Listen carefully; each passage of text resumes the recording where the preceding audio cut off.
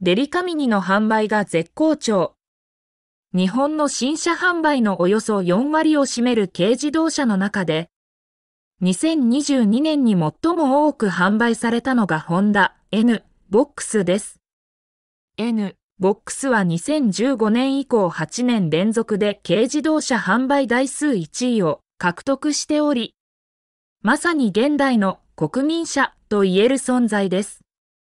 N ボックスの属する軽スーパーハイトワゴンは、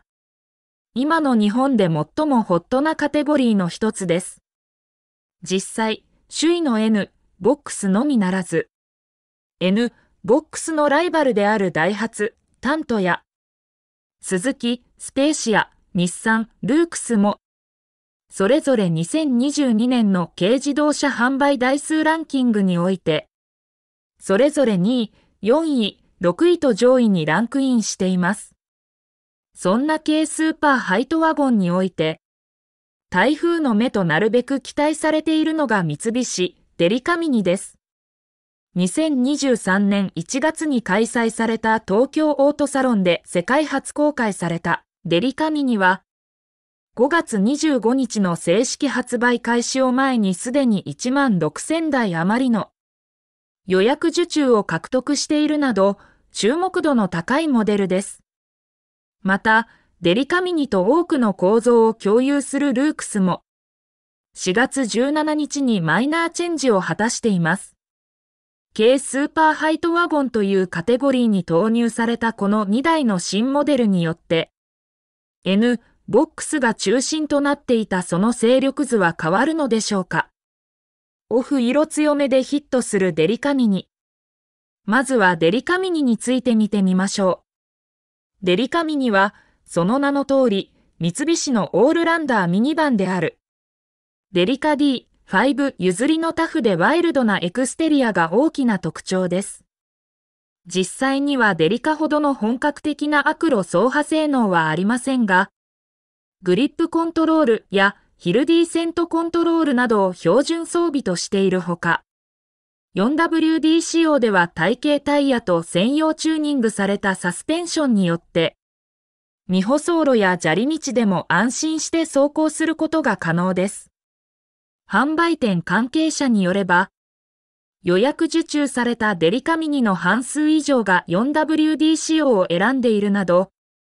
アウトドアユースも想定しているユーザーも少なくないことが伺えます。タフ系の軽スーパーハイトワゴンとしては、ダイハツ、タントファンクロスやスズキ、スペーシアギアがすでに存在しています。ただ、いずれもベースモデルのスペーシアとタントの派生モデルという印象が強く、目に見える部分以上の違いはほとんどありません。一方、デリカミニは EK クロススペースの事実上の後継モデルであるため、構造部の多くを EK スペースと共有してはいるものの、前述のような専用の装備やチューニングもあることから、EK スペースの派生モデルというイメージはありません。もちろん、内外装のデザインも EK スペースとは大きく異なり、現状の軽スーパーハイトワゴンの中では最もタフ系に寄せた一台ということができます。アウトドアがブームとなっている昨今、軽スーパー、ハイトワゴンにも、タフでワイルドなイメージを求めるユーザーが増えていることは、決して不思議なことではありません。圧倒的な販売台数を誇る N ボックスには、タフ系なモデルが用意されていないということを考えても、デリカミには機体の申請として、勢力図を変えるモデルとなることは間違いなさそうです。普通がルークスの特徴？では、ルークスはどうでしょうか ?4 月13日に初公開されたマイナーチェンジ後のルークスは、新時代の V モーショングリルによって躍動感と高級感を増したデザインや、質感が高められたインテリアの素材やカラー、そして強化された安全装備などが特徴です。加えて、ハイウェイスターシリーズには、